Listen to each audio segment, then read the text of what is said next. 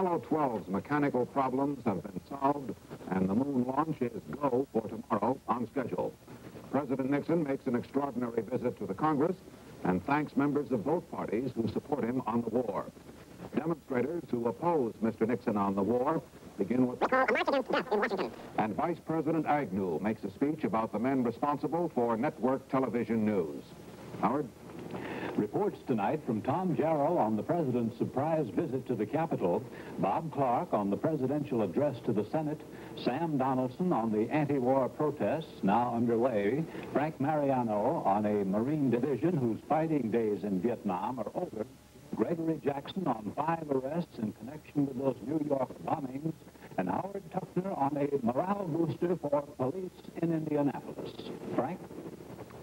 Today, Apollo 12 astronaut Alan Bean said, we're ready to go when they are. And they, the men behind man's second flight to the moon, are ready too. Yesterday, a hitch developed that could have delayed the moonshot for a month. A leaky hydrogen tank was discovered. Working around the clock, technicians replaced it. The space agency says the launch will go off on schedule at 11.22 a.m. Eastern Time tomorrow. Here with a report on the men and the mission is ABC science editor Jules Bergman.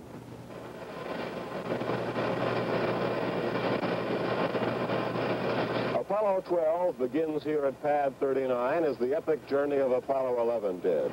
And if there's one thing that's clear, it's this. Apollo 11 is a tough act to follow. But no astronauts were ever better picked for a mission than Pete Conrad, Dick Gordon, and Alan Bean all Navy commanders and all old friends. And their 10-day flight is a brutal test of human endurance, including seven hours or more of exploring the moon on foot.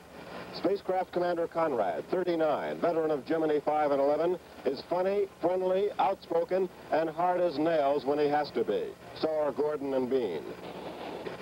Unlike Apollo 11, where it was enough just to land on the moon, Conrad and Bean have to make a pinpoint landing, trying to eliminate the four-mile era Armstrong and Aldrin experienced. If man is to really explore, he has to be able to land exactly where he wants to. Conrad, who's had more practice at landings than any other man, is aiming to set down Intrepid, his lunar module, as close as he can to the Surveyor 3 spacecraft that landed two and a half years ago. He and Al Bean then planned to moonwalk over to Surveyor during their second EVA and remove and bring back its TV camera and other parts. They first planned to land 1,100 feet away, now hope to touch down almost on the rim of its crater. They have to land within 3,000 feet or they won't have enough oxygen to safely get to Surveyor and make it back to Intrepid. The major goal of the mission is to deploy five scientific experiments that will radio back data on moonquakes, solar winds, and the moon's atmosphere for more than a year. Conrad and Bean will also gather rock and soil samples and painstakingly photograph each step. Each sample to tell us more to see if this part of the moon differs from the Sea of Tranquility where the Eagle landed. They'll spend 32 hours on the moon, and after they take off to rejoin Dick Gordon and the Clipper, the empty Intrepid will then be sent smashing into the moon so as not to leave debris that might endanger future flights. Then, one more day in lunar orbit, filming future landing sites before heading home for a landing in the South Pacific. This is Jules Bergman, ABC News at Cape Kennedy. ABC will carry the launch of Apollo 12 live beginning at 10.30 a.m. Eastern Time tomorrow. We'll be back with more news in a moment. Look for this label. The leaky tank in the Apollo 12 rocket was replaced last night, and the schedule now calls for a launch on time at 11.22 a.m. Eastern Time tomorrow morning. And it will, of course, be seen live on NBC television.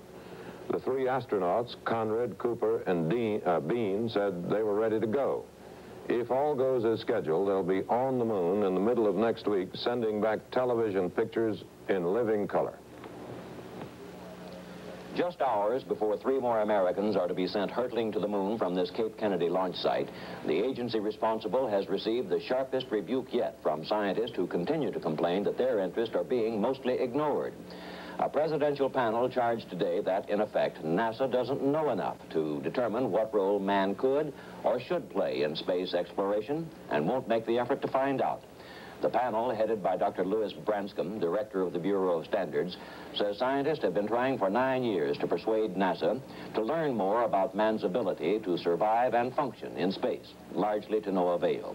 So, the panel concludes, it doesn't make sense to talk about two-year flights, such as a trip to Mars. This is the latest evidence of a long smoldering dispute between scientists and engineers. In recent months, five top scientists have resigned from NASA, and four of the scientists being trained as astronauts are no longer with that program. They've had a common complaint, too much emphasis on engineering, or how to do things, and not enough on science, or what should be done, and why. Publicly, NASA says it's carrying out all the scientific experimenting it can, reasonably and safely, Privately, the agency doesn't seem perturbed.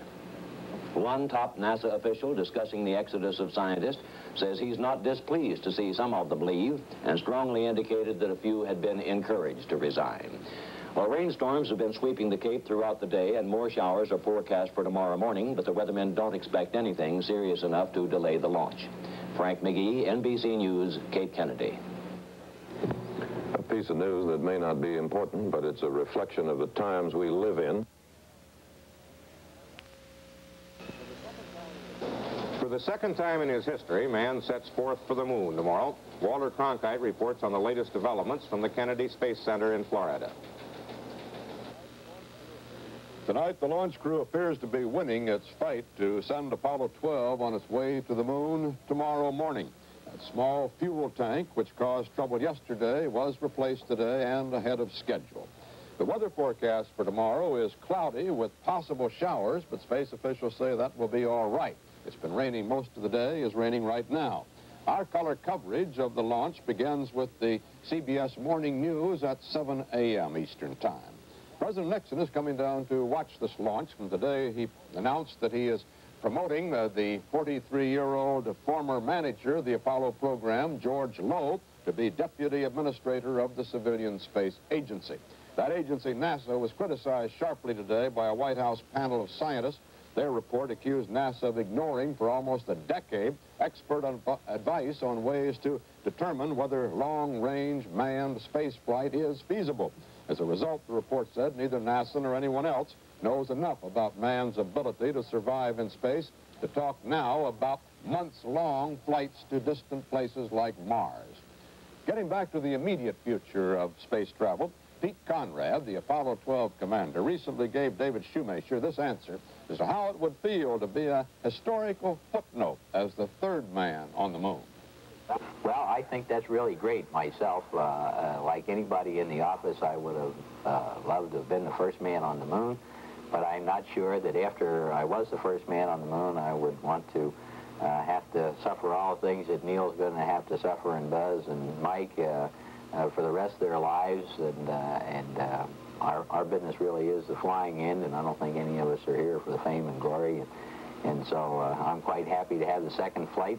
And like every flight in the program, the next flight uh, really is doing something more and different, so there is no such thing as a bad flight anywhere in the program as far as we're concerned. That's the way it is. Thursday, November 13th, 1969. T minus one. This is Walter Cronkite, CBS News, Kennedy Space Center.